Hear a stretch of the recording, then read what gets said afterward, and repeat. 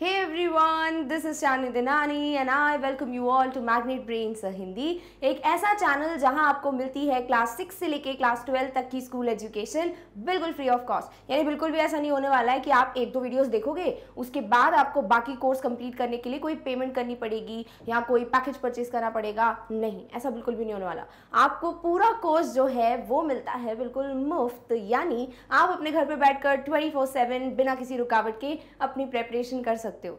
साथ ही साथ अगर आप चाहते हो कि आप इंग्लिश मीडियम का कोई भी टॉपिक है जो पढ़ें, ताकि आपका नॉलेज बढ़े यू नो इन्हांस हो देन डेफिनेटली आप इंग्लिश मीडियम की वीडियोज़ जो हैं, वो भी देख सकते हो फ्रॉम दी वेबसाइट और वेबसाइट कैसे विज़िट करना है, क्यों विज़िट करना है, वो सब मैं बताऊँगी आपको बट कब इस वीडियो के अंत में।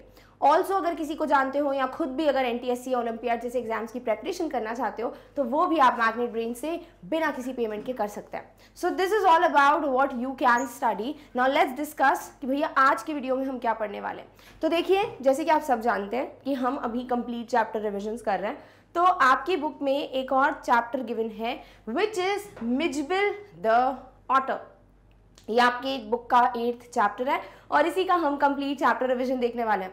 बट अगर ध्यान से देखो तो आप देख सकते हो कि पार्ट वन लिखा हुआ है विद इन द ब्रैकेट इसका मतलब क्या है? देखो, ये जो चैप्टर है ना, इसको खुद चार पार्ट्स में डिवाइड किया गया है। और ऐसा नहीं है कि मतलब डिफरेंट डिफरेंट स्टोरीज हैं। सेम स्टोरी को चार पार्ट्स में डिवाइड करके दिया हुआ है। Now these four parts are very lengthy, यानी बहुत ज़्यादा बड़ी बड़ी स्टोरीज हैं। इसीलिए मैंने क्या किया है ना, इस पूरे कंप्लीट चैप्टर रिविजन को दो भागों में डिवाइड कर दिया तो आज हम करेंगे फ़र्स्ट और सेकेंड स्टोरी का डिस्कशन और नेक्स्ट वीडियो में आपको मिल जाएगा इसका थर्ड और फोर्थ पार्ट सो इस तरीके से आपके दो पार्ट्स में आपका कंप्लीट चैप्टर रिविजन भी कंप्लीट हो जाएगा और आप यू नो इतना बड़ा वीडियो देख देख के ऐसे भी नहीं सोचोगे, अरे बाप रे, कितना बड़ा चैप्टर है। तो दो डिफरेंट वीडियोज़ आई गेस अच्छा idea right so part one है ये, ध्यान रखिएगा, ये पूरा कंप्लीट नहीं हो जाता है। इसके बाद भी एक और वीडियो है जो आपको देखनी पड़ेगी ताकि आपको आगे की स्टोरी पता चल सके। क्लियर और राइट चलो। सो सबसे पहली बात, यहाँ हम बात कर रहे हैं मिजबिल द ऑर्डर चैप्टर की। यहाँ पर वर्ड है मिजबिल जो कि एक नाम है इट्स अ नेम और ऑटर जो है, वो इस तरीके का दिखने वाला एनिमल है। तो यहाँ पर जो ऑथर है ना, वो एक ऑटर पालने वाले हैं। एक ऑटर को एज अ पेट रखने वाले हैं जनरली जब आप पेट्स की बात करते हो, आपके दिमाग में क्या आता है भाई, आप रखोगे कोई डॉग कोई कैट या फिर आप कोई बर्ड रख लेते हो you you know know? But आप कभी भी ऐसा नहीं देखते हो कि आप ऑटर या इस तरीके का कोई एनिमल है जिसे पेट रखते हो। बट यहाँ पर ऑथर जो है, वो एक पेट रखने वाले हैं और वो होने वाला है एक ऑटर जिसका नाम रखेंगे ये मिजबिल या फिर इसको मिज भी बोलेंगे यू नो बिल्कुल शॉर्ट में होता है ना, जैसे बिल्कुल यो टाइप्स का तो मिजबिल को बना देंगे मिज क्लियर ऑल राइट चलो। तो हम इस चैप्टर को फटाफट से स्टार्ट करते हैं। बहुत ही प्यारी स्टोरी है और आपको बहुत मज़ा आने वाला है इस ऑटर के बारे में और ऑथर की लाइफ कैसे चेंज हो गई, उसके बारे में जानने के लिए। क्लियर ऑल राइट चलो। सबसे पहला पार्ट जो है, वो हम स्टार्ट करते हैं। तो ऐसे आपको पार्ट्स गिवन है। वन टू थ्री फोर तो हम फ़र्स्ट और सेकंड आज की वीडियो में करेंगे थर्ड और फोर्थ नेक्स्ट वीडियो में करेंगे। Author travelled in the new year of 1956 to southern Iraq तो जो ऑथर हैं, जिन्होंने ये चैप्टर लिखा है, वो न्यू ईयर के टाइम पे गए हैं। यानी कि बिल्कुल जो नया साल स्टार्ट हुआ है ना, उसके स्टार्टिंग के दिनों में गए हैं। किस ईयर के? 1956 के कहाँ? सदर्न इराक की तरफ़, ठीक है? तो सदन इराक की तरफ़ गए हैं, वो ट्रैवल किया उन्होंने न्यू ईयर के बिल्कुल बिगनिंग में 1956 के थोड़ा टाइम बिगनिंग में। By then it had cross my mind I should like to keep an otter instead of dog और तब तक पोइट ये सॉरी ऑथर कहते हैं कि तब तक मेरे दिमाग से ये बात जा चुकी थी होकर पास ऑन हो चुकी थी, कि मुझे एक डॉग की जगह एक ऑटर को एज अ पेट रखना चाहिए। तो ऐसा है कि पहले डॉग रह चुका एक पेट ऑथर का, और अब वो इट इज़ नो मोर तो अब उनको लगता है कि मुझे ना ऑटर को एज अ पेट रखना चाहिए। Camusfearna ringed by water a stone's throw from its door would be an eminently suitable spot for this experiment ये जो चैप्टर है ना इसमें आपको बहुत सारे डिफ़िकल्ट वर्ड्स मिलेंगे बहुत बहुत बहुत सारे। तो बिल्कुल कोशिश करनी है कि ध्यान से आपको हर एक वर्ड का मीनिंग समझना है ताकि आपको कोई भी डाउट ना रहे जब आप आंसर्स वगैरह लिखो। क्लियर ऑल राइट चलो। सो so, तब तक तो भैया ये हो चुका था कि उनको दिमाग में बहुत यू नो उनके दिमाग से जाके होके जा चुकी थी कि उनको डॉग की जगह एक ऑटर को पेट रखना चाहिए। कैमस्फियर ना एक जगह है जहाँ पर रहते हैं ये जो ऑथर है, और वो जो जगह है वो बिल्कुल पानी से घिरी हुई है। रिंग्ड मतलब चारों तरफ़ ऐसे सर्कुलर बिल्कुल पानी है। और ये पानी जो है वो, जो ऑथर जहाँ पे रहते हैं ना, उनके घर से बस थोड़े से डिस्टेंस पे है। तो उस डिस्टेंस को कहेंगे स्टोन्स थ्रो डिस्टेंस क्या कहेंगे अ स्टोन थ्रो डिस्टेंस यानी मतलब आप एक पत्थर फेंक दो और उतना जो डिस्टेंस है, कितना सा हुआ डिस्टेंस तो शॉर्ट डिस्टेंस को कहते हैं ये। तो छोटे से डिस्टेंस पे है और ये बहुत ही बढ़िया सा एक तरीका रहेगा, बहुत ही बढ़िया सी जगह रहेगी ऑटर्स के लिए यू नो यहाँ पर, क्योंकि ऑटर्स को पानी में रहना बहुत पसंद है दे लव वाटर तो इसीलिए ये जगह केमस्फियर ना इज़ परफेक्ट ऑटर को रखने के लिए। और ये एक्सपेरिमेंट करने के लिए यू नो ऑटर को एज अ पेट रखना चाहिए, पालतू जानवर रखना चाहिए, वो चीज़ भी ऑथर को बड़ी एक्साइटिंग लग रही है क्लियर और चलो। सबसे पहले तो मैं आपको बता देती हूँ ये सारे जो इतने प्यारे प्यारे वर्ड्स हैं, उनका मीनिंग सबसे पहले क्रॉस्ड माई माइंड को पढ़ लेते हैं। This means a thought crossed my mind मतलब क्या चीज़ गुजरी आपके दिमाग से? एक थॉट एक आपने जो भी विचार किया है came in to my mind तो पोइट सॉरी ऑथर यहाँ कहना चाह रहे हैं कि एक विचार जो है उनके दिमाग से होकर गुजरा। एक विचार जो मेरे मन से गुजरा, उसे कहा है क्या भाई? क्रॉस्ड माई माइंड नेक्स्ट आता है ऑटर ऑटर क्या है? एक एनिमल है. कौन सा animal a mammal with four legs and short brown fur that swims well and eats fish जिसे हिंदी में उदबिलाव कहते हैं, ठीक है? तो ऑटर एक मैमल है क्लियर और इसके चार लेग्स हैं, छोटी सा बिल्कुल ब्राउन कलर का फरी सा स्किन होता है और ये बहुत अच्छे से स्विम कर लेता है पानी में और फ़िश वगैरह खाता है। इस तरीके का दिखता है ऑटर सो क्यूट राइट तो ये है जो ऑथर अब you know as a pet रखने वाला है। नेक्स्ट आ जाते हैं a stone's throw this means a very short distance यानी थोड़ा दूर. एक छोटा सा डिस्टेंस जिसे हम कह सकते हैं थोड़ी ही दूरी पर. उसे कहेंगे स्टोन्स थ्रो डिस्टेंस और एमिनेंटली मतलब बहुत ज़्यादा यानी वेरी या हाईली या कहोगे अत्यंत. तो ये बहुत ही बढ़िया अत्यंत खूबसूरत एक नंबर स्पॉट है जहाँ पर ऑटर को यू you नो know, रखा जा सकता है as a pet clear all right चलो. ऑथर है गेविन मैक्सवेल आपको ध्यान में रखना है नाम बिकॉज़ कभी ऐसा हो सकता है कि आपको गैविन नाम दे दें आगे जाके। So please keep in mind कि किसने लिखा है ये कहानी? गैविन मैक्सवेल ने। Beginning of 1956 after the author's dog passed away travel to southern Iraq तो भाई जो ऑथर हैं, वो 1956 की बिल्कुल बिगनिंग में, जब ऑथर के जो डॉग थे, जो पेट थे, उनकी डेथ हो गई। उसके बाद वो वहाँ जाते हैं। कहाँ पर? Southern Iraq to keep an otter instead of a dog as a pet. और इस बार वो एक ऑटर को एज अ पेट रखना चाहते थे बल्कि डॉग को नहीं। Keeping an otter at Camusfearna बहुत ही बढ़िया आइडिया है। यानी कैमस्फियर ना सबसे बढ़िया जगह रहेगी ऑटर को रखने के लिए। क्यों? Because Camusfearna was surrounded by water which was close by क्योंकि उनके घर की थोड़ी डिस्टेंस पे पूरा पानी पानी है तो डेफिनेटली ये बहुत ही बढ़िया स्पॉट रहेगा ऑटर के लिए। वो खुश भी रहेगा। क्लियर और चलो। अब इसी को हिंदी में पढ़ते हैं। सो so, लेखक हैं गेविन मैक्सवेल 1956 यानी 1956 की शुरुआत, लेखक के डॉग की मृत्यु के बाद दक्षिणी इराक की ओर गए। डॉग की जगह उदबिलाव को पालतू जानवर के रूप में रखना चाहते थे। इस बार वो नहीं चाहते थे कि वो डॉग को रखे ऐसा पालतू जानवर। इस बार उन्होंने डिसाइड किया क्यों ना उदबिलाव या ऑटर को रखा जाए। कैमस्फियरना में एक उदबिलाव रखना अच्छा विचार है, क्योंकि कैमस्फियरना पानी से घिरा हुआ था, जो कि पास था। तो ये बहुत अच्छी जगह हो जाती है किसके लिए? ऑटर के लिए। तो ये है पूरी कहानी अभी तक। मैंने तीन बार बता दिया। आई होप अब नहीं भूलोगे। क्लियर ऑल राइट चलो, अब आगे देखते क्या होता है। Casually mentioned a friend replied can get one in the Tigris marshes.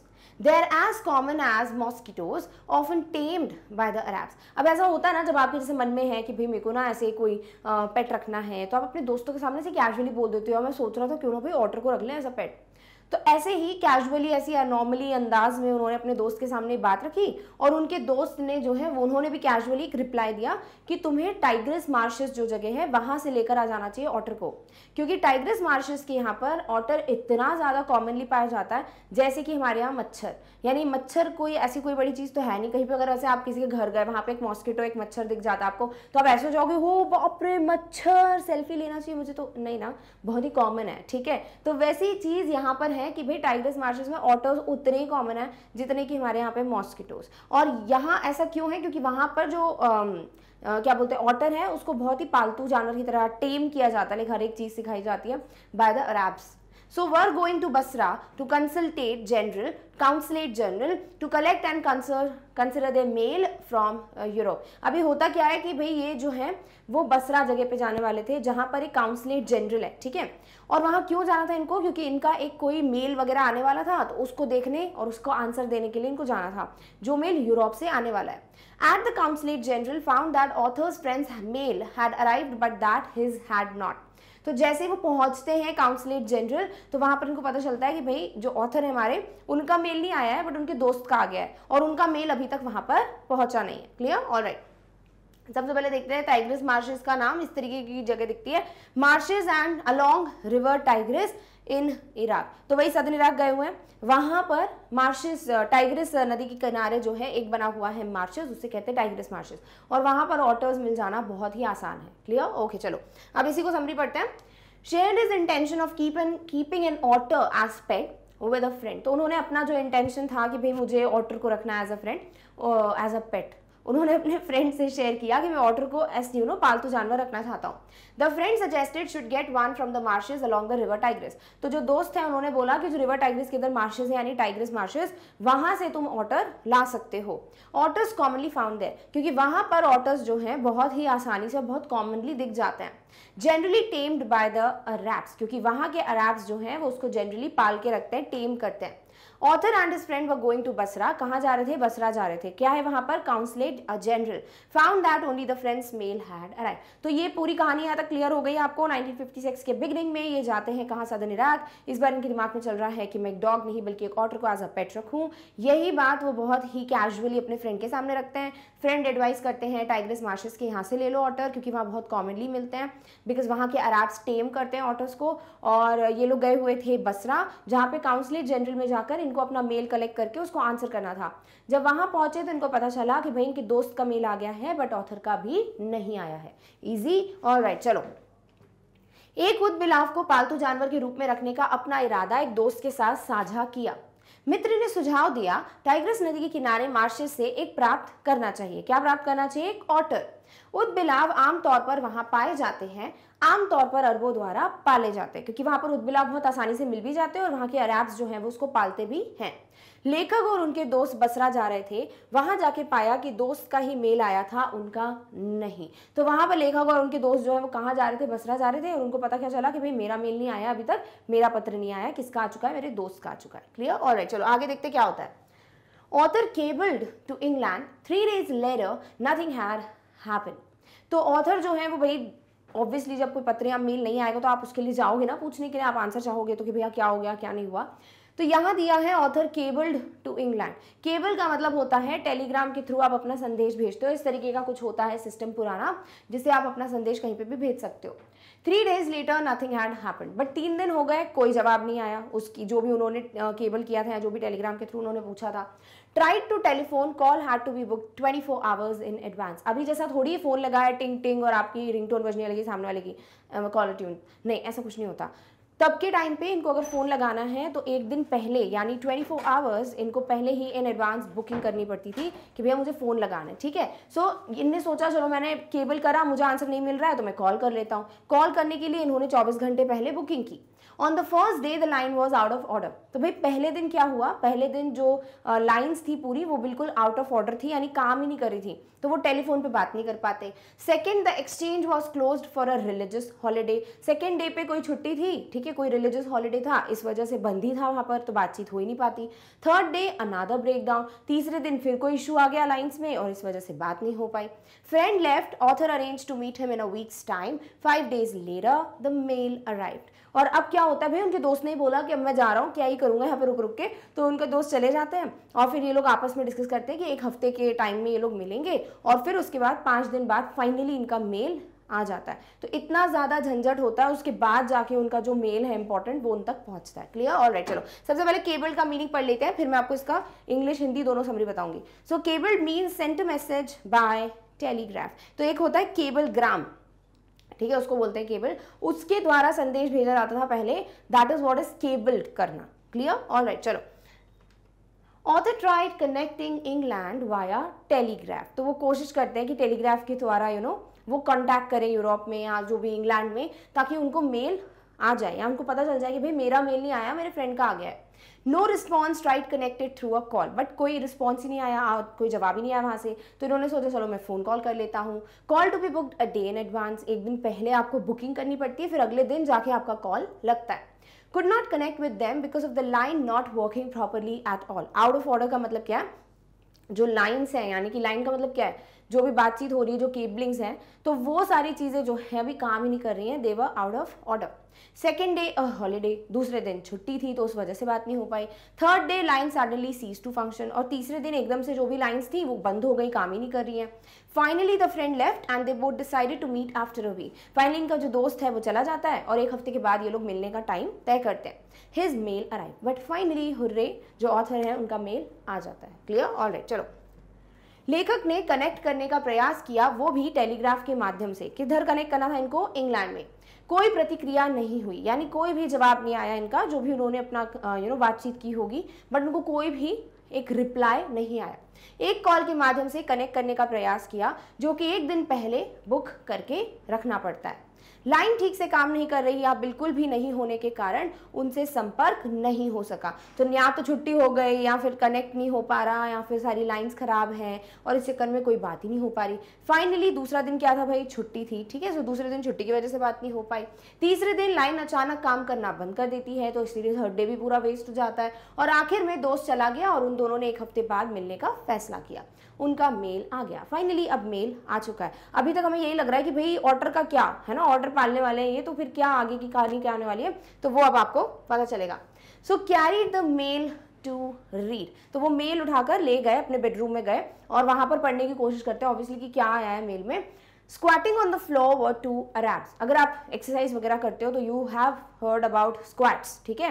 तो स्क्वाट क्या होता है कि आप अपने पूरे घुटने के पहले से पूरा बैठते हो, फिर उठते हो that is what is squatting करना। बट अगर आप उस पोजिशन में बैठते हो, इसका मतलब क्या होता है कि आप अपने घुटने मोड़ के फिर उसके बल बैठ जाते हो। That is not is squat वाली पोजिशन तो ऐसे हुआ कि वहाँ पर उनके घर पे दो अरैब्स आए जो कि ऐसी ही पोजिशन में बैठे हुए थे. They were squatting on the floor beside them lay a sack that squirmed from time to time और उनके जस्ट पास में ले मतलब रखा हुआ था। क्या रखा हुआ था? एक सैक सैक किसको बोलते हैं? बोरी को। ये जो गनी बैग्स होते हैं ना, इसको हम क्या बोलते हैं? सैक बोलते हैं इंग्लिश तो वो वहाँ पर बगल में रखा हुआ है उन दो रैप्स के। और इट वॉज़ स्क्वमिंग यानी कि थोड़ा बहुत ऐसे मूवमेंट हो रहा था ट्विस्टिंग सा उसमें, जैसे कि उसमें कुछ हो। और इस तरीके से वो बोरी में थोड़ा बहुत मूवमेंट इनको दिख रहा था। A note from the friend here is your otter और फिर इनके दोस्त ने इनको सजेशन दिया था ना कि यहाँ से ऑटर मिल जाते हैं बिकॉज़ यहाँ पे तो मच्छर जैसे कॉमनली मिलते रहते हैं ऑटर तो फिर उनने क्या किया? एक ऑर्डर भिजवाई दिया. और एक नोट था, उसमें लिखा था कि ये रहा तुम्हारा ऑटर क्लियर ऑल राइट चलो। सबसे पहले बता देती हूँ आपको स्क्वाटिंग और स्क्वम्ड का meaning so squatting means crouch और sit with one's knees bent and one's heels close to a back of thighs तो आपकी जो हील्स है हील्स समझते हो? अभी मैं ऊपर करके नहीं बता सकती था तो पैर जो है ना, आप बस ऐसे मोड़ के बैठे आते हो अपने घुटने के बल. दैट्स इट वॉट स्क्वाट वाला position squirm means twisted about यानी जो बोरी है, जो साक है, वो बार बार ऐसे ट्विस्ट हो रही थी बिकॉज़ उसके अंदर ऑटर था. Clear all right Author received the mail, went to the bedroom to read it. Two Arab men with a sack handed a note sent by his friend. Stated, order was a gift from him. The author was packed in the sack अभी होता क्या है कि author को finally mail मिल जाता है, उसे पढ़ने के लिए वो अपने रूम में जाते हैं। जब वो पढ़ते हैं, एकदम से दो अरैब्स आते हैं, उनके पास एक बोरी है और वो बोरी थोड़ी बहुत हिल रही है। और ये दो अरैब मैन जो है, वो स्क्वाट वाली पोजिशन में बैठे हुए हैं एंड सडनली वो उसको देते हैं, ठीक है? एक नोट देते हैं, जिसमें सॉर्ट ऑफ़ उनके फ्रेंड के थ्रू एक गिफ्ट है which is here is your otter यानी उस बोरी में, उस सैक में कौन पैक्ड था ऑटर क्लियर ऑल राइट चलो, इसी को हिंदी में पढ़ते हैं। लेखक को मेल मिला पढ़ने के लिए बेडरूम में गए। वो दो अरब आदमी एक बोरी के साथ अपने दोस्त द्वारा भेजा गया एक टिप्पणी वो उन्हें सौंप देते हैं। टिप्पणी in the sense note clear कहा उदबिलाव उन्हीं की देन थी, यानी कि एक गिफ्ट था, एक प्रेजेंट था फ्रॉम हिज फ्रेंड और उदबिलाव क्या है? ऑटर उदबिलाव को बोरे में पैक किया, रखा गया था। इजी अब ऑर्डर आ चुका है। अब आगे की स्टोरी तो बहुत ही बढ़िया है कि अब क्या क्या यू नो चैलेंजेस आएँगे, कैसे वो पूरा केयर करने वाले हैं ऑर्डर का, वो पूरी स्टोरी है। Done okay okay. Second part पे आ जाते हैं, अब आगे क्या होता है? देखो, बिल्कुल अगर आप ये बुक ओपन करके पढ़ते हो ना अभी, अगर चाहो तो अभी अपनी बुक खोल सकते हो। उसमें बिल्कुल बिगनिंग में एक बॉक्स दिया हुआ है, जहाँ दिया है कि भाई पेट को पालने के भी कई तरीके होते हैं। जैसे, जब आप कभी भी पेट रखने का सोचते हो, आपके दिमाग में क्या आता है, बस मुझे ना बस रखना है, कोई क्यूट सा पपी रखना हो, कितने क्यूट होते हैं, ऐसे ऐसे करके आप ना बस ले आते हो। बट जब उसका ध्यान रखना होता है ना, उसकी बहुत केयर करनी पड़ती है, तब बहुत कम लोग होते हैं जो सफल हो पाते हैं। बिकॉज़ आपको पता ही नहीं होता कि उनको हर टाइम पे यू नो राइट टाइम पे खाना देना है उनको राइट टाइम पे जब भी, भी उनको डॉक्टर की ज़रूरत है वेट की ज़रूरत है तो उनको भाई लेके जाना है। जो भी इंजेक्शन वगैरह होते हैं जो भी उनकी यू नो बिल्कुल टाइम टू टाइम जैसे हम छोटे बच्चों को लगते हैं ना injection when we are small वैसे ही उनको भी लगवाने पड़ते हैं। तो ये सारी चीज़ें जो हैं कि पेट को पालना इट्स नॉट लाइक जस्ट बस क्यूट वाली बात कि ओ it's so cute so I want keep it नहीं, ऐसा कुछ नहीं है। You have to take care of it आपको उसका ध्यान रखना पड़ता है। तो वही चीज़ इस चैप्टर से आपको क्लियर की जा रही है कि पेट को पालने का सिर्फ़ एक ही रीज़न नहीं होना चाहिए बिकॉज़ आपको मन है पेट रखने का। नहीं। आपको पेट तभी रखना चाहिए जब आप तैयार हो उसका ध्यान रखने के लिए। जब आपको लगता है कि नहीं, मैं रख लूँगा उसका ध्यान, क्योंकि खुद का तो ध्यान रख नहीं पा रहे, पेट का रखेंगे। तो वही सारी चीज़ें हैं जो यहाँ पर समझाई गई आपको। कभी अगर आपके पास टाइम हो तो डेफिनेटली बैठ के वो बुक का बिल्कुल जो बिगनिंग का बॉक्स है वो पढ़ना। वैसे डिटेल्ड एक्सप्लेनेशन में आपको मिल ही जाएगा बिकॉज़ वो बॉक्स भी पढ़ाऊँगी मैं डिटेल में। अभी रिविजन है तो पढ़ाने की ज़रूरत नहीं है। सो इफ़ यू वॉन्ट आप डेफिनेटली पढ़ सकते हो। क्लियर ऑल चलो। अब हम बात करेंगे सेकंड पार्ट की। So we are done with first part clear हो गया ऑर्डर कैसे आया ऑर्डर कौन है etcetera etcetera opening of the sack began a phase of author's life अब क्या करते हैं? उस बोरी को ओपन करते हैं, ठीक है? उस सैक को ओपन करते हैं और ऑथर की ज़िंदगी का एक नया ही बिल्कुल फ़ेज़ स्टार्ट होता है, एक नया ही बिल्कुल लाइफ का होता है ना? कई बार ऐसी चीज़ें होती है जिससे आपकी पूरी लाइफ चेंज हो जाती है। तो वैसे ही ऑथर की एक नई ज़िंदगी की शुरुआत हो रही है सॉर्ट ऑफ़ बिकॉज़ सब कुछ बहुत चेंज हो जाएगा। क्यों? क्योंकि वो ऑथर जो है, अब उनकी केयर वो करने वाले हैं। Not yet ended not end अब बिफोर ऑथर डज अब यहाँ पे ऑथर बोलते हैं कि मेरी जो भी नई लाइफ शुरुआत हुई है, वो अभी भी ख़त्म नहीं हुई है। और जब तक मैं ख़त्म नहीं हो जाता हूँ इन द सेंस जब तक मैं इस दुनिया को छोड़ के नहीं चला जाता, तब तक ये लाइफ ऐसी रहने वाली है। यानी वो इतना ज़्यादा अटैच्ड थे ऑटर से, वो आपको डेफिनेटली क्लियर हो रहा होगा, ठीक है? A to to and and fixation have since found to be shared by most other people who have ever owned one. अभी ऐसा लग रहा होगा ना क्या ये चाइनीज़ भाषा लिख दी है? तो फटाफट से बता देती हूँ थ्राल्डम और फिक्सेशन वैसे फिक्सेशन तो क्लियर हो जाएगा थ्राल्डम ध्यान से पढ़ लो। थ्राल्डम मीन्स एक ओल्ड फ़ैशन वर्ड है एक पुराना टाइप का वर्ड है which means being under the control of किसी के यू नो कंट्रोल में रहना विच इज़ सॉर्ट ऑफ़ गुलामी। That is what is thraldom तो एक जो थ्राल्डम टू ऑटर्स है, यानी सॉर्ट ऑफ़ गुलामी जो है ऑटर्स की, और साथ ही साथ and otter fixation fixation का मतलब कि एक बॉन्ड फॉर्म हो जाना like a very strong attachment of feeling एक गहरा लगाव हो जाना. That is what is fixation like you get fix इस तरीके से ध्यान में रख सकते हो. तो वही वो बोल रहे हैं कि thraldom to otters and otter fixation have since found to be share तब से ऐसा लग रहा है कि सभी लोग उसको यू नो तरीके से डील कर पा रहे हैं महसूस कर पा रहे हैं।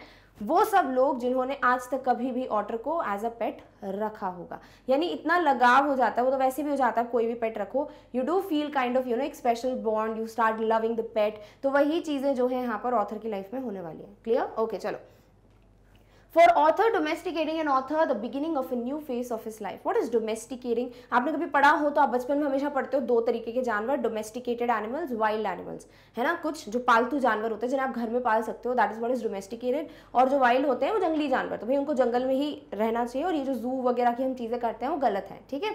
So for author domesticating an otter the beginning of a new phase of his life यानी ऑटर का ध्यान रखना, उसका देखभाल करना, ये सब ऑथर का एक यू नो नई ज़िंदगी की शुरुआत कर रहे थे वो. Developed deep affection with the order and definitely वो एक बहुत ही गहरा लगाव महसूस कर पा रहे थे ऑर्डर के साथ। एक अलग ही उनका अफेक्शन हो गया था यू you नो know, कि मतलब ऐसा लग रहा था उनको कि नहीं मतलब ऑर्डर एक बहुत ही ज़रूरी पार्ट है मेरी ज़िंदगी का। Only be understood by others who have ever own by an order like an order not by an order तो यहाँ पे क्या दिया हुआ है कि बस ये जो एक बॉन्ड है, एक अफेक्शन है, सिर्फ़ वही लोग समझ सकते हैं जिन्होंने आज तक कभी एक को एज अ पेट रखा हो। जैसे कि जब तक आप, वैसे तो जनरली अभी तो बहुत क्लियर हो जाता है कि येस अगर आप डॉग्स या कैट्स यू नो अगर इनको रखते हो एज अ पेट तो डेफिनेटली एक बॉन्ड फॉर्म हो जाता है। और आप बहुत ज़्यादा यू नो बहुत कैसे बोलूँ मैं? Like people do feel lonely अकेला फील करने लगते हैं, अगर वो पेट उनको छोड़ के चला जाता है तो। ऐसा होता है, ठीक है? तो उतना अगर फिक्सेशन है तो डेफिनेटली वो किसी भी पेट के साथ हो जाएगा राइट इट डजेंट डिफाइंस कि ऐसा सिर्फ़ मैमल ही होना चाहिए, या फिर सिर्फ़ डॉग होना चाहिए, या कैनाइंस होने चाहिए everything and sort of that नहीं, ऐसा कुछ नहीं है। तो वही चीज़ है यहाँ पर कि ऑटर के साथ भी एक डीप बॉन्ड फॉर्म हो गया था ऑटर का, और ये सिर्फ़ वही लोग समझ सकते हैं जिन्होंने कभी भी ऑटर को एज अ पेट रखा हो। क्लियर ओके चलो। लेखक के लिए उद्बिलाव को पालतू बनाना उनके जीवन के एक नए चरण की शुरुआत थी। उद्बिलाव से गहरा लगाव हो गया और केवल उन लोगों द्वारा समझा जा सकता है जिनके पास कभी भी एक उद्बिलाव रहा हो। यानी जिन्होंने भी आज तक एक भी उद्बिलाव को पाला हो, उनको बहुत जैसे क्लियर हो जाएगा कि ऑथर का इतना लगाव क्यों हो गया था। Clear okay creature emerged from the sack on to the spacious tiled floor of the councilate bedroom resembled most of all a very small, medievally conceived dragon. ध्यान से पढ़ते हैं, डरना नहीं कि क्या क्या लिख के दे दिया है। देखो, पहले दिया हुआ है क्रीचर एमर्ज एमर्ज मतलब एकदम से बाहर आ गया। किसमें बंद था भाई? एक बोरी में बंद था। तो जैसे इन्होंने सैक खोला तो एकदम से वो बाहर आ जाता है। कौन? Otter on to the spacious tiled floor जहाँ पे बहुत ज़्यादा स्पेस है और टाइल्स का बना हुआ जो फर्श है, वहाँ पर ये एकदम से बाहर आ जाता है। अब ये रूम कहाँ का है? लाइक किसने प्रोवाइड किया है? तो हमें पता है कि जो ऑथर है, वो काउंसलेट जनरल गए हुए थे अपने मेल की जानकारी जानने के लिए। तो वहाँ पर ही काउंसलेट बेडरूम जो है, वहाँ पर ये स्टे कर रहे थे। तो वहाँ एकदम से जैसे वो बोरी ओपन करते हैं, वो बढ़िया से ऑर्डर जो है, वो इतनी सारी जगह पे आकर बैठ जाता है। रिसेंबल्ड वॉट इज़ रिसेंबल्ड यानी किसी की तरह दिख रहा था। तो ये जो ऑटर है, वो किससे मैच कर रहा था? Most fall a very small एक बहुत ही छोटू से मिडीवली कंसीव्ड यानी मिडीवल पीरियड में ऐसा माना जाता था। कंसीव्ड का मतलब क्या होता है? जैसे प्री कंसीव्ड नोशन वर्ड पता होना चाहिए आपको। प्री मतलब कभी भी प्री लग जाए वर्ड मतलब पहले से। कंसीव्ड मतलब कुछ ऐसा माना गया है। नोशन मतलब एक सोच। तो एक पहले ही एक होता है ना कि कोई लोग पहले ही कुछ चीज़ें सोच के बैठ जाते हैं कि भैया ऐसा ही होगा। यू you नो know, जैसे बहुत सारी चीज़ें होती हैं ठीक है? तो वो प्री कंसीव नोशन यानी कंसीव्ड मीन्स कि आप ऐसी धारणा यस द राइट वर्ड धारणा करके बैठ जाते हो दिमाग में। So that is what is कि ऐसा मतलब पहले के टाइम पे माना जाता था कि ड्रैगन है। ड्रैगन क्या है भाई? एक ऐसा कोई सा भी क्रीचर के मुँह से आग निकलती है। अभी ऐसा कुछ होता नहीं है रियल में। बट ऐसा माना जाता था, है ना? तो उस वक्त जो एक इमेजिनेशन था, वैसे ही कुछ छोटू सा मिलता जुलता लग रहा था ऑटर वैसे, बल्कि otter is very cute right तो यहाँ पर ऐसा लग रहा था जब उन्होंने अपने सामने देखा ऑटर ने इसको, जैसे कि एक छोटू सा ड्रैगन जो है, वो उस बोरी से बाहर आया हो। Head to the tip of the tail coated with symmetrical pointed scales of mud armor between whose tips was visible a soft velvet fur like that of a chocolate brown mole क्या दिया हुआ है कि उसके जो head है sir से लेके टिप ऑफ़ द टेल यानी बिल्कुल पूछ का जो अंत है वहाँ तक ये पूरा तरीके से कवर्ड था किससे कवर्ड था सिमेट्रिकल सिमेट्रिकल मतलब एक जैसे पॉइंटेड स्केल्स बिल्कुल ऐसा लग रहा था कि बिल्कुल नुकीले नुकीले से स्केल्स बने हुए हैं। और ऐसा था कि जैसे मिट्टी की एक शील्ड बनी हो। आमर का मतलब क्या होता है? शील्ड प्रोटेक्टिव एक लेयर तो वैसा ही सा लग रहा था कि जैसे मिट्टी की पूरी ना, एक पूरी उसने शील्ड बना के रखी हो अपने प्रोटेक्शन के लिए। और बिटवीन हो स्टिप्स वॉज़ विजिबल और उसके बिल्कुल बीच बीच में जो ये स्केल्स थे, उसके बीच बीच में विजिबल था छोटा छोटा सा सॉफ्ट वेलवेट फर क्योंकि इसका बहुत ही फरी सी बॉडी होती है, मुलायम सॉफ्ट सी। तो वैसा सॉफ्ट सॉफ्ट सा फर जो है, वो थोड़ा थोड़ा दिख रहा था।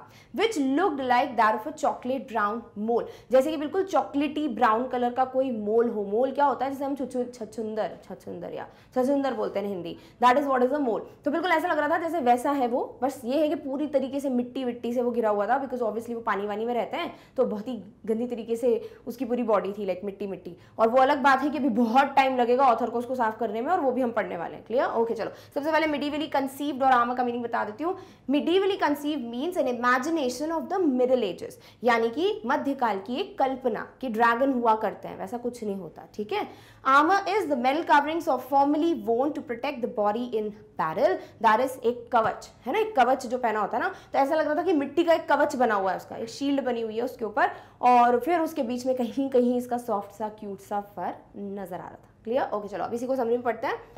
सो ओपन द सैक और came out on the tile floor जैसे ही सैक ओपन किया तो वो जो ऑटर है, वो एकदम से बाहर आ जाते हैं उस फर्श पे। Look like the dragon. और ऑथर को क्या लगता है कि जैसे कि एक छोटू से ड्रैगन जैसा दिख रहा है। Completely covered in mud and from beneath it पूरी तरीके से मिट्टी से घिरा हुआ है बिल्कुल हेड से लेके बिल्कुल टेल तक, हर जगह मिट्टी से ही उसकी बॉडी कवर्ड है। Small patches of soft velvet fur could be seen और छोटे छोटे मतलब हर टिप्स के बीच में कहीं कहीं पर ऐसे सॉफ्ट फर दिखाई दे रहा था उसका, जो ओरिजिनल उसकी स्किन है। Fur resemble the skin of a chocolate brown coloured mole और ऐसा लग रहा था जैसे कि एक बहुत ही चॉकलेटी ब्राउन कलर के मोल जैसा इसका फर दिख रहा है या रिसेंबल कर रहा है। क्लियर ओके चलो, अब इसी को हिंदी में पढ़ते हैं so that you get to know कि अच्छा ठीक है, और कोई वर्ड तो नहीं जो समझ नहीं आया है। अब हिंदी में देखते हैं इसी को। सो बोरी उन्होंने खोली, जो भी सैक था उसको जैसे उन्होंने खोला उस बिलाव टाइल वाले फर्श पर निकलकर बाहर आ गया। तो जो ऑल्टर है, वो एकदम से जो फ्लोर है, उस पर बाहर आ गया। क्योंकि ऑब्वियसली जिस एनिमल को एकदम से आप इतनी देर तक बंद करके रखोगे एक बोरी में तो खुश हो जाएगा ना कि उसको फाइनली बाहर आने का मौका मिल रहा है। तो बिल्कुल बाहर आ गया।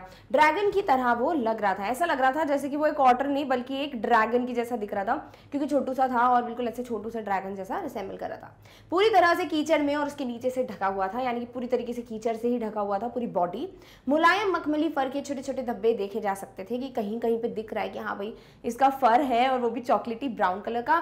फर चॉकलेट ब्राउन रंग के छचुंदर की त्वचा जैसा दिखता था। Yes छचुंदर is what we call a mole ठीक है मोल का एक नाम है क्या? छचुंदर। Clear okay. He shook himself half expected a cloud of dust अब आपने देखा होगा कि कभी भी एनिमल्स जो है, अगर वो थोड़ी देर बाद लेकर उनको एक जगह पे बंद करके रख दो तो अपन क्या होता है, हम ऐसे ऐसे अंगड़ाई लेते हैं। और जो एनिमल्स होते हैं, वो पूरी तरीके से यूँ करते हैं लाइक पूरी तरीके से नो अपना जो भी मिट्टी मिट्टी है, वो सब साफ़ हो जाती है। तो जब उसने अपने आप को हिलाया शेक का पास्ट है शूक तो जैसे अपने आप को हिलाया ना ऑटर ने तो जितना एक्सपेक्टेड था ना कि मतलब इतनी मिट्टी निकलेगी, उसका तो आधा ही निकला है। मतलब इतनी मिट्टी थी उसमें। So half expected a cloud of dust यानी कि मतलब ऐसा नहीं बोलेंगे मतलब जितना एक्सपेक्टेड था जितना एक्सपेक्टेड था उससे कई ज़्यादा धूल निकली यानी कि इतनी धूल निकली जो इनकी एक्सपेक्टेशंस की बहुत लाइक like, क्या बोलूँ मैं half expected a cloud of dust clear यानी कि आपने इतना एक्सपेक्ट भी नहीं किया था पूरी तरीके से कि इतनी मिट्टी निकलेगी आपने जितना आधा एक्सपेक्ट भी नहीं किया होगा इतनी ज़्यादा मिट्टी निकली ऑटर से। आई होप क्लियर हो रहा है आपको ये पॉइंट कि ऑटर में इतनी मिट्टी थी बस ये आपको ध्यान में रखना है। Was not for another month manage to remove the last of the mud and see the as it were in true colours और यहाँ पर ऑर्डर कहते हैं कि पूरा अगला महीना चला गया, पूरा महीना, एक मंथ लग गया पूरा, कि वो यू नो ऑर्डर को पूरा साफ़ कर सके। यानी उसको क्लीन करते थे ना तो एक एक मिट्टी का कण भी जो होगा ना, थोड़ी बहुत भी मिट्टी, वो भी पूरी साफ़ करने में कितना टाइम लग गया? पूरा एक महीना लग गया, यानी इतनी मिट्टी थी ऑटर में। As like in his true colours true colours मतलब जैसा वो असलियत में दिखता है, वैसा देखने को इनको अराउंड एक महीने बाद मिला ऑटर क्योंकि उसमें इतनी मिट्टी थी और वो सब साफ़ करने में इतना टाइम लग गया। Mijbil as I called the otter of a race previously unknown to science and was at length christened by zoologists Lutrogale perspicillata maxwelli और मैक्सवेल्स ऑटर अगर कभी जुलॉजी पढ़ी है तो आपको पता होना चाहिए कि भाई ऐसे नाम होते हैं, जैसे हम लोग के भी होते हैं होमोसेपियंस ह्यूमन बींग्स को बोला जाता है। होमोसेपियंस वैसे ही हर किसी का एक साइंटिफिक नेम होता है। तो यहाँ बोला है कि मिजबिल, जिसको हम ऑर्डर कहते हैं, ठीक है as a call the otter otter का नाम रखा था ऑथर ने मिजबिल। मिजबिल किसने रखा है नाम? ऑथर ने। Of a race previously unknown to science और ये किसी को पता ही नहीं था कि ऐसा करके भी कोई जानवर होता है, ऐसे ऑटर्स भी होते हैं। And was at length christened और फिर बहुत टाइम बाद जो है इसका नाम रखा गया। वॉट इज़ क्रिश्चियन नामकरण, ठीक है? तो इसका नाम रखा गया बाय द जोलॉजिस्ट और नाम क्या रखा? ल्यूट्रोगेल पर्सपिसिलेटा मैक्स विली या फिर मैक्स विली नाम है, जिसने रखा होगा, जिसने खोजा होगा, उसके ऊपर है। तो इसीलिए मैक्स विली का क्या कर दिया? मैक्सवेल्स ऑटो यानी मैक्सवेल का ऑटो क्लियर ऑल चलो। सबसे पहले क्रिश्चियन का मीनिंग पढ़ लेते हैं। क्रिश्चियन मीन्स नेम यानी नाम रखा गया। किसी भी चीज़ का अगर नाम रखा जाता है कुछ तो उसे हम कहते हैं क्या? क्रिश्चियन तो यहाँ पर जो ऑटर है उसका नाम रखा गया बाय द जोलॉजिस्ट ये पर्टिकुलर नेम न्यूट्रोगेल पर्सपिसिलेटा मैक्सविली बार बार क्यों बोल रही हूँ? ताकि आपको ध्यान में रहना चाहिए। मतलब ऐसे डायरेक्टली आई डोंट थिंक पूछते हैं बट वॉट इफ़ पूछ लिया तो, तो इसीलिए ध्यान में रखो। Clear okay okay. He shook himself to get rid of most of it, but it took another month of continuous cleaning and washing to bring out his actual color. उसने अपने आप को हिलाया शेक किया कि भाई जो भी मिट्टी है उसके ऊपर से वो निकल के बाहर चली जाए मतलब पूरा साफ़ हो जाए। बट इतनी जल्दी होना नहीं था एक महीना लग गया। एंड एक और महीने बाद की यू नो ऐसा कुछ हुआ कि वो पूरी तरीके से साफ़ हो गया था। यानी ऑधर को इतनी उसकी क्लीनिंग करनी पड़ी कि फाइनली एक एक मिट्टी का कण बाहर गया उसकी बॉडी से। एंड देन वो असलियत में कैसा दिखता है वो वो देख पाए। Author named otter Mijbil. Mijbil नाम किसने रखा है? ऑथर ने। किसका? ऑटर का। इसीलिए चैप्टर का नाम है मिजबिल द ऑटर। क्लियर हो गया? Okay Mijbil belong to race of otters that had been recently discovered by zoologist like बहुत टाइम तक तो पता ही नहीं था लोगों को कि ऑटर करके भी एनिमल होता है। फिर बहुत टाइम बाद जूलॉजिस्ट ने पता किया कि हाँ भैया, ये रेस है और फिर उनका नाम रखा। नेम्ड ल्यूट्रोगेल पॉस्पिसिलेटा मैक्सविली या फिर मैक्सवेल्स ऑटर क्लियर ओके उन्होंने इससे छुटकारा पाने के लिए खुद को हिलाया, लेकिन इससे मतलब धूल से। और उसका असली रंग लाने के लिए लगातार सफ़ाई और धुलाई में एक और महीना लग गया। यानी कि यहाँ पर ऐसा हुआ कि पहले तो उसने खुद को हिलाया तो मिट्टी मिट्टी गिर गई। उसके बाद उसको फिर खुद नहलाना पड़ा, उसको पता है ऑथर को, और फिर जाके उसकी क्लीनिंग हुई।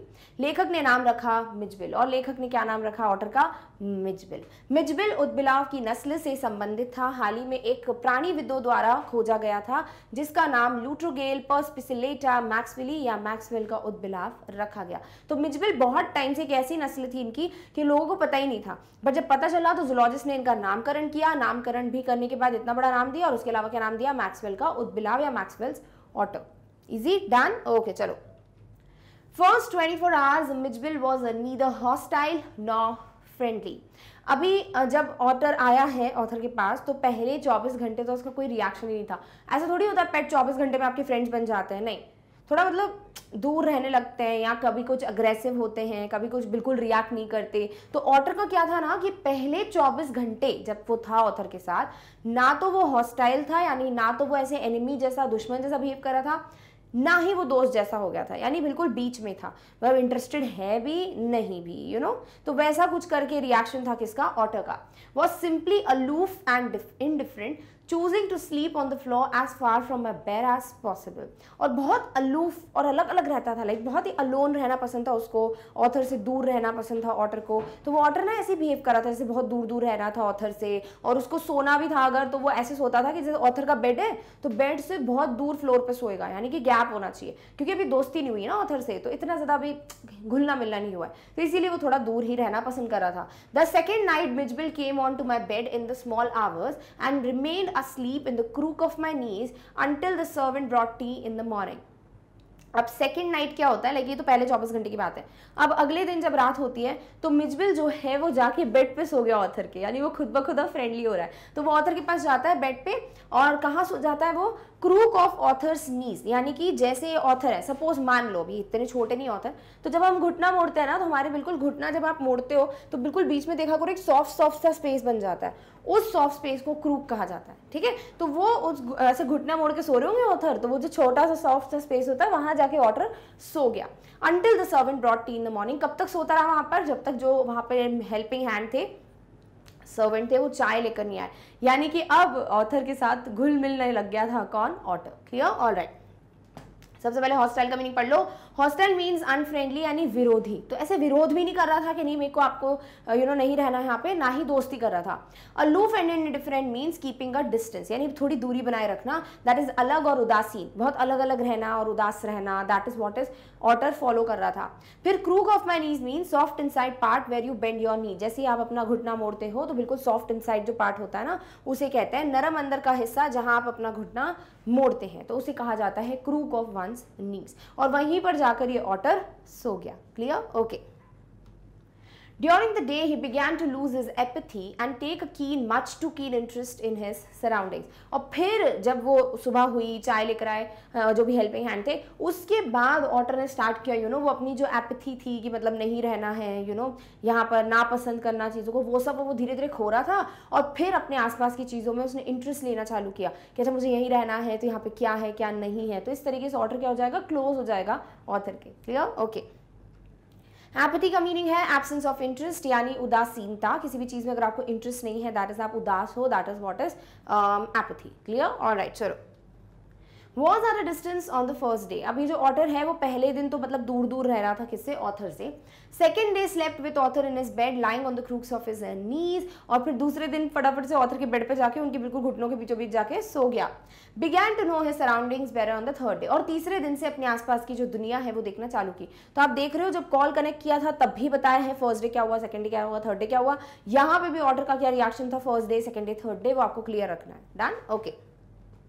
पहले दिन दूरी पर था तो वो ऑथर से पहले दिन बहुत दूर दूर रह रहा था, कौन? ऑटर दूसरे दिन लेखक के साथ उसके बिस्तर पर उसके घुटनों के बल लेटा हुआ था तो भाई जो घुटने हैं उनके, वहाँ पर जाके वो सो गया। तीसरे दिन अपने परिवेश को बेहतर तरीके से जानने लगा और तीसरे दिन अपने आसपास की जो सराउंडिंग्स है, जो परिवेश है, उसको जानने की वो कोशिश करने लगा।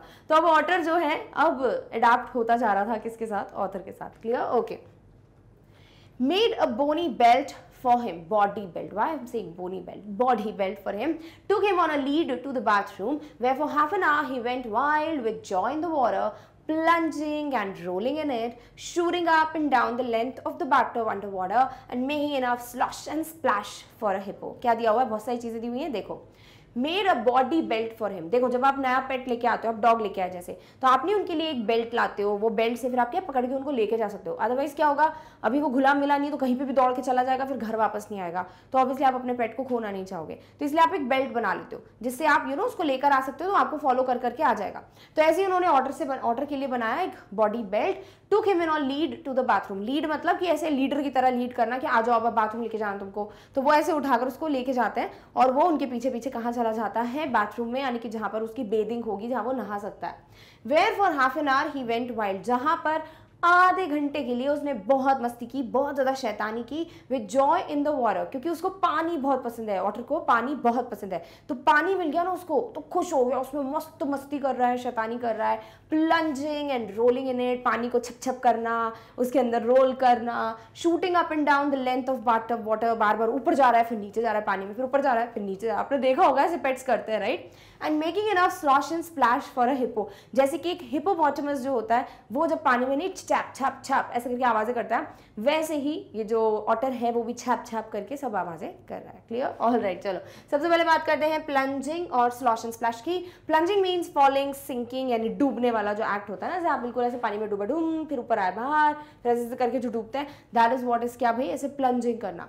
नेक्स्ट आ जाता है slosh and splash which means splashed छिड़कना है सॉर्ट ऑफ़ ऐसे ना पानी में स्प्लैश करना, जैसे ये हिपो करते हैं। This is how hippo looks like तो हिपो जैसे नहीं, पानी में छप छप आवाज़ करते हैं। वैसे ही ऑटर अब पानी में इंजॉय कर रहा था कहाँ पर? वहाँ के बाथरूम में। क्लियर ऑल राइट चलो। Author made a belt for the otter अब ऑथर चाह रहे थे कि भाई उसको अब लीड करके लेकर आएँगे तो उसके लिए एक बेल्ट बनवाते हैं। Took him on the lead wherever they went और फिर उसको अपने पीछे पीछे लेके जाते हैं, जहाँ पे भी जाना है तो सॉर्ट ऑफ़ उसको लीड करना पड़ेगा ना कि आओ मेरे पीछे, आओ हमको यहाँ जाना है तो इस तरीके से होता है। First took the otter in to the bathroom discovered liked playing with water तो सबसे पहले उसको बाथरूम लेके गए, और वहाँ पर ऑथर को पता चला कि ऑटर को पानी से खेलना बहुत ज़्यादा पसंद है, क्योंकि वो बहुत इंजॉय कर रहा था पानी को तो उसको लेके जाते हैं और पानी में छाप छाप बहुत ज़्यादा वो इंजॉय करता है।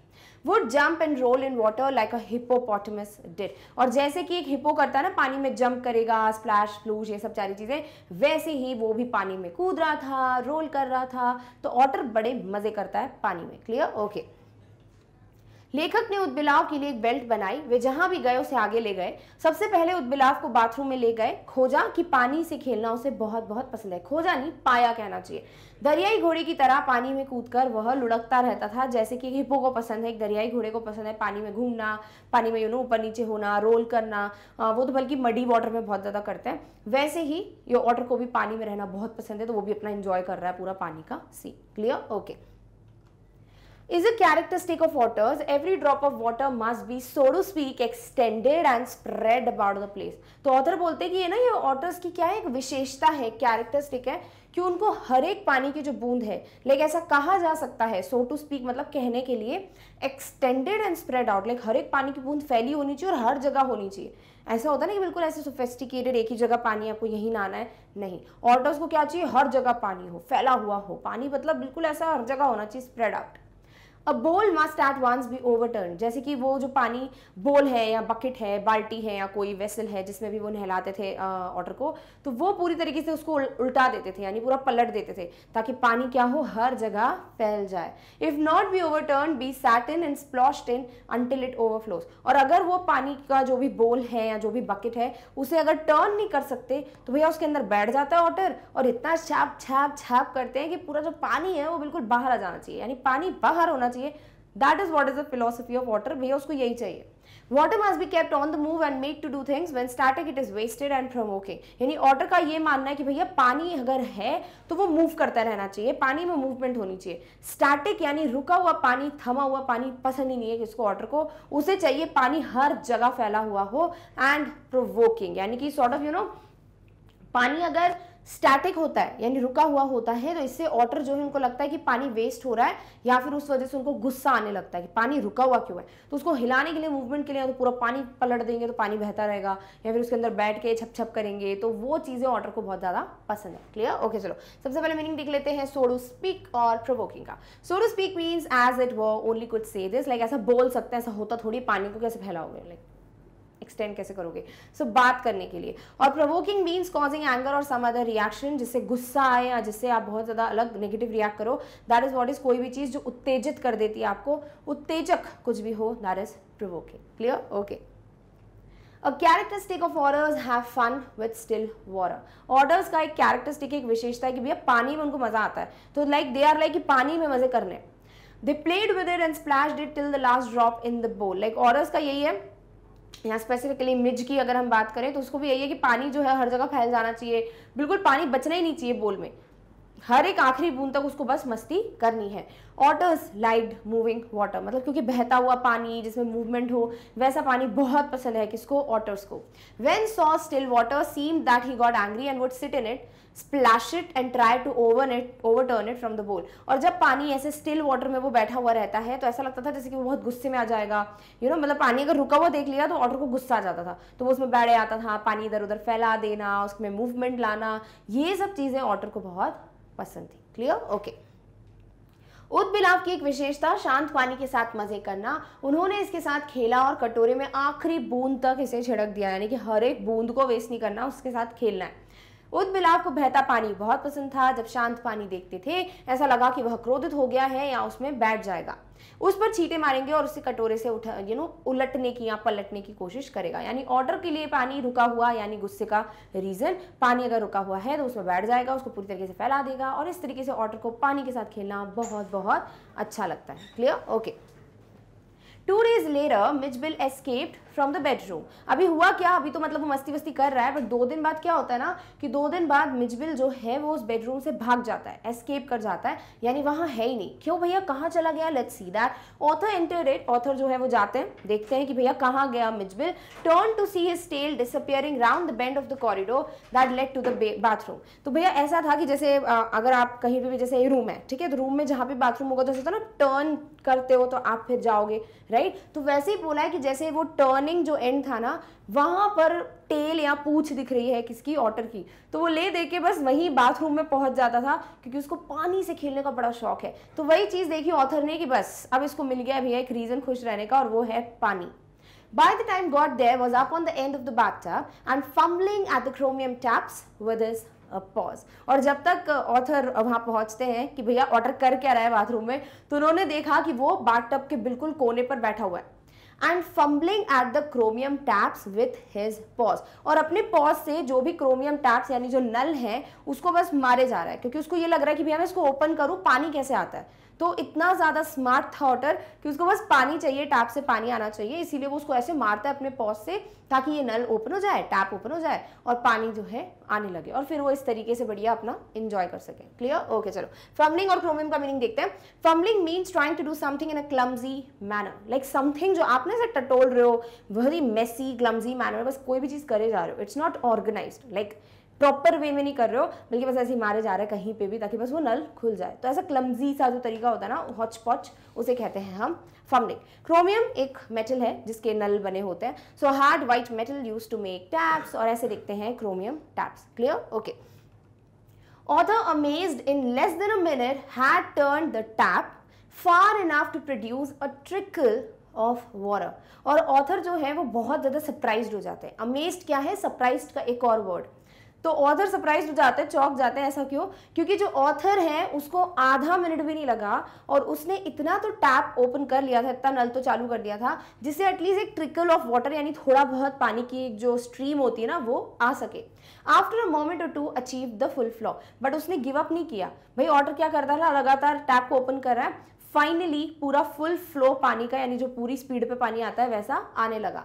Had been lucky to turn the tap the right way but otter एक यू नो लकी था। क्यों? क्योंकि वो अगर दूसरे साइड पे टर्न करता टैप को तो बहुत टाइट हो जाता खुलता नहीं। बट उसने राइट right जगह पे उसको टैप की मतलब टर्न किया था ताकि पानी जो है वो प्रॉपरली आ सके। Sometimes screw it up still tighter, chittering with irritation and disappointment at the tap's failure to cooperate अब यहाँ पे क्या दिया हुआ है कि कभी कभी तो ऐसा होता था कि वो पूरी चीज़ें खराब कर देता था लाइक पूरा उल्टी जगह पे टर्न करता था टैप को तो वो टाइट हो जाता था। अभी टाइट हो गया तो उसके लिए खुलने में और दिक्कत हो। तो वो बहुत ज़्यादा इरिटेट हो जाता था कि मतलब ये जो नल है ना, ये मेरे साथ कॉर्पोरेट नहीं कर रहा है। कॉर्पोरेट कॉपरेट ठीक है तो जो नल है, मेरे साथ कॉपरेट नहीं कर रहा है, मेरा साथ नहीं दे रहा और इस वजह से पानी नहीं आ रहा है। तो ऑर्डर को बस इस चीज़ की लगती थी भाई बहुत ज़्यादा इरिटेशन हो जाता था कि पानी बस आना चाहिए, उसको हमेशा पानी चाहिए टू प्ले क्लियर ओके चलो ट्रिकल और चिटरिंग का मतलब बताती हूँ। ट्रिकल वैसे बहुत प्यारा वर्ड है should know this so flow in a small stream यानी बूंद बूंद करके जब पानी गिरता है ना, टप टप टप टप that is what is trickle in English ठीक है?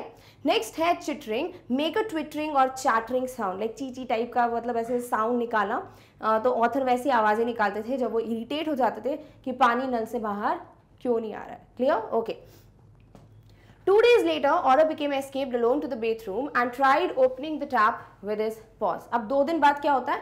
खुद ब खुद ऑटर जो है वो बा, बाथरूम की तरफ़ चले जाते हैं और वहाँ पर जाकर अपने पॉज से कोशिश करते हैं कि वो नल खोल सके।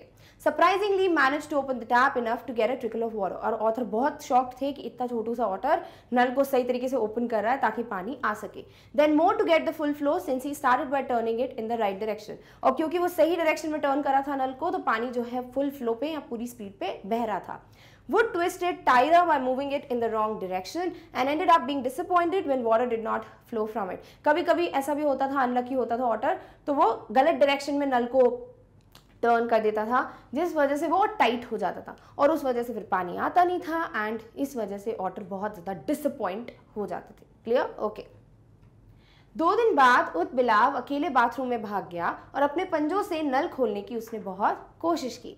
हैरानी की बात यह है कि नल को इतना खोलने में कामयाबी मिली कि पानी की एक बूंद भी निकल सके। लाइक शॉकिंग है कि नहीं कर पाते ऑटर वो पर उसने वो कर लिया। फिर पूर्ण प्रभाव प्राप्त करने के लिए और अधिक के बाद से उसने इसे सही दिशा में मोड़कर शुरू किया। गलत दिशा में घुमाकर उसे और ज़ोर से घुमाता था और जब उसमें से पानी नहीं बहता था तो वो निराश हो जाता था। यानी कभी तो राइट डायरेक्शन में ओपन करके पानी आ गया तो ही वॉज़ लाइक बल्ले बल्ले और अपना एंजॉय करता पानी में। बट अगर कभी बहुत टाइट हो जाता था बिकॉज़ वो रॉन्ग डायरेक्शन में टर्न करता था तो उसका मूड खराब हो जाता था ऑर्डर का और वो बहुत ज़्यादा इरिटेट हो जाता था clear okay Soon Midge would follow the author without a lead and come to him when his name called. Spent most of his time in play. और अब ऐसा था ना कि उसके लिए बेल्ट बनाई गई थी कि भैया उसको पकड़ के लेके जाएँगे ऑटर को, तभी वो जाएगा बट अब वो इतना तो अडेप्ट हो गया था कि अब ऑटर को यू नो वो जो बेल्ट है, उससे ले जाने की ज़रूरत नहीं पड़ती थी, बल्कि अगर वो बोल भी देते थे कि मिज, कम या मिज, आ जाओ तो वो उनका नाम सुन के ही पीछे पीछे उतर के चला जाता था। और मिज का टाइम जो है मोस्ट ऑफ़ द टाइम वो सिर्फ़ खेलने में ही बीतता था। Spent hours shuffling a rubber ball round the room like a four-footed saucer player, using all four feet to dribble the ball.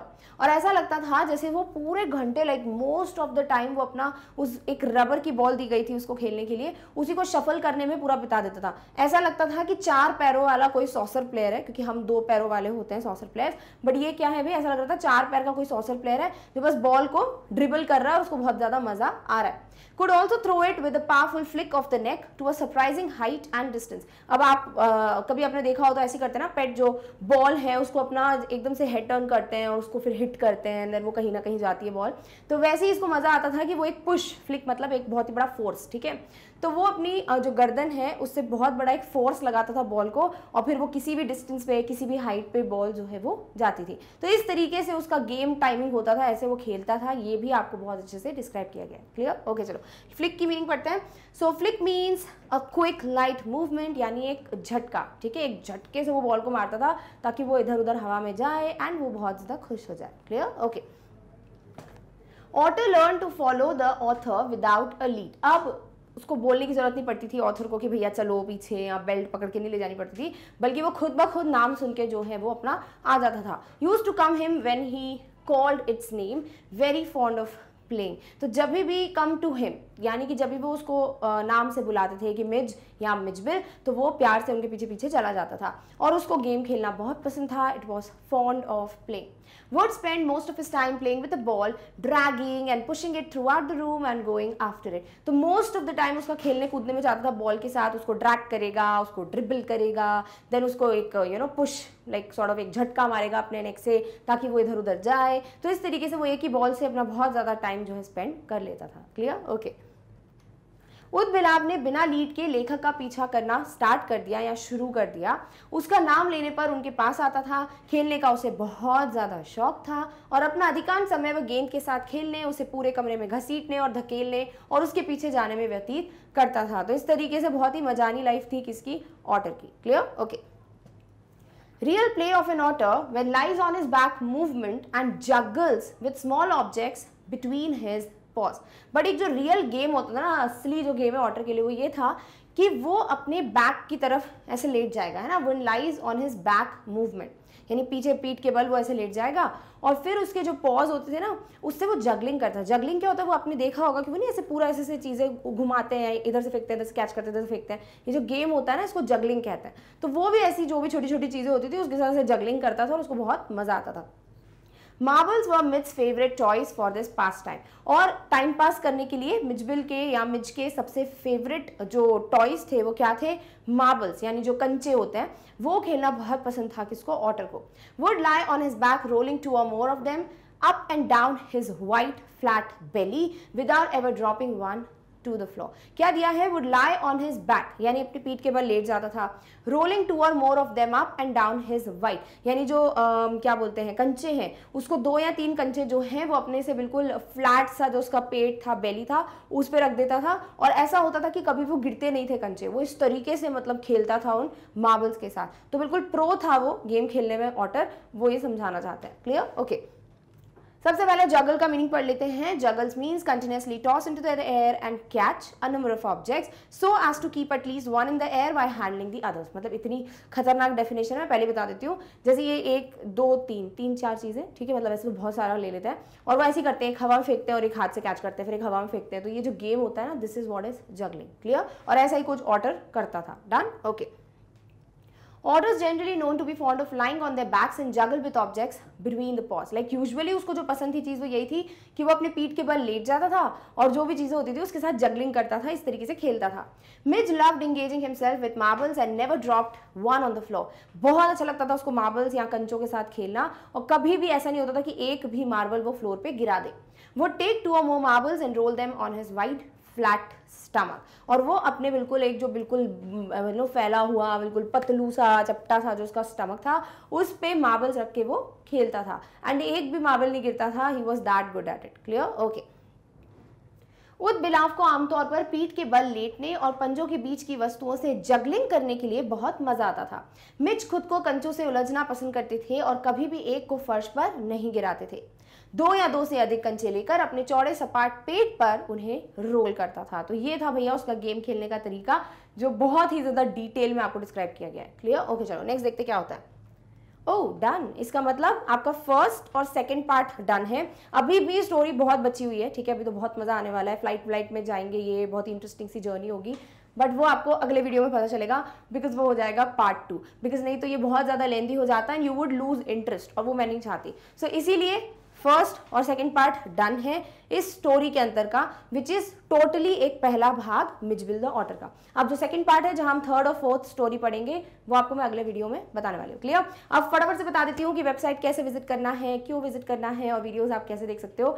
देखो, आप जैसे अभी आज ये वीडियो देख रहे हो ना, वैसे ही अगर आप बाकी के कोर्सेज या बाकी का जो भी कॉन्टेंट अपलोड होता है चैनल पे, उसे अगर एक्सप्लोर करना चाहते हो, वो भी बिल्कुल कम समय में कि भाई आप क्लिक क्लिक करो और वीडियो आपके सामने आ जाए। तो बेस्ट ऑप्शन है कि आपको विज़िट करना चाहिए वेबसाइट ऑफ़ द चैनल। करना क्या है उसके लिए? बस जाओ गूगल पे टाइप करो मैग्नेट कॉम जैसी वेबसाइट ओपन करोगे, ये पेज डिस्प्ले होगा। अब इसी पेज पे आपको जाकर बस सिलेक्ट करना है whatever you want to study जैसे इंग्लिश मीडियम का कुछ पढ़ना है क्लिक कर दो। हिंदी मीडियम क्लिक कर दो। एन टी ओलंपियाड का कोई टॉपिक पढ़ना चाहते हो क्लिक करो।